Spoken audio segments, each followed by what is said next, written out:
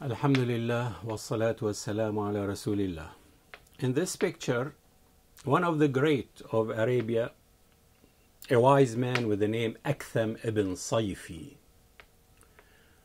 When the rumors spread all over Arabia about this man who claims to be a prophet, he wanted to check it out. So he picked up and chose two men to go and ask him a few questions, then to come back to him so he would pass a judgment. So they went and they met the Prophet Muhammad wasallam and they told him we are the messengers of Aktham ibn Sayfi and he he is asking you who are you? And what are you all about? And what did you bring?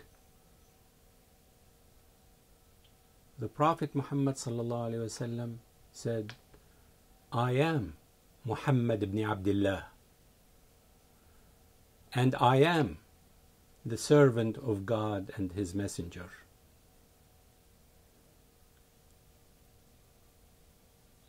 Then he recited few ayahs إن الله يأمر بالعدل والإحسان وإيتاء ذي القربى وينهى عن الفحشاء والمنكر والبغي يعظكم لعلكم تذكرون They went back to Aktham ibn Sayfi and told him about their encounter with the Prophet Muhammad. And here Aktham told his people, "O people, I see this man is ordering us to be moral and prohibit us from being immoral. I advise you to join him and be at the front and do not be the tail of this message and the followers of this message.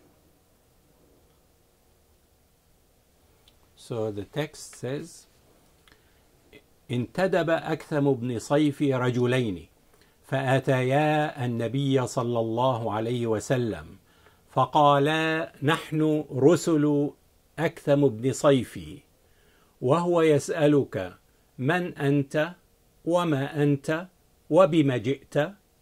فقال النبي صلى الله عليه وسلم أنا محمد ابن عبد الله وأنا عبد الله ورسوله ثم تلا عليهما إن الله يأمر بالعدل والإحسان وإيتاء ذي القربى وينهى عن الفحشاء والمنكر والبغي يعظكم لعلكم تذكرون. فلما سمعهن أكثم قال يا قوم أراه يأمر بمكارم الأخلاق وينهى عن فحشائها فكونوا في الأمر رؤساء ولا تكونوا أذنابا وكونوا فيه أولا ولا تكونوا آخرا.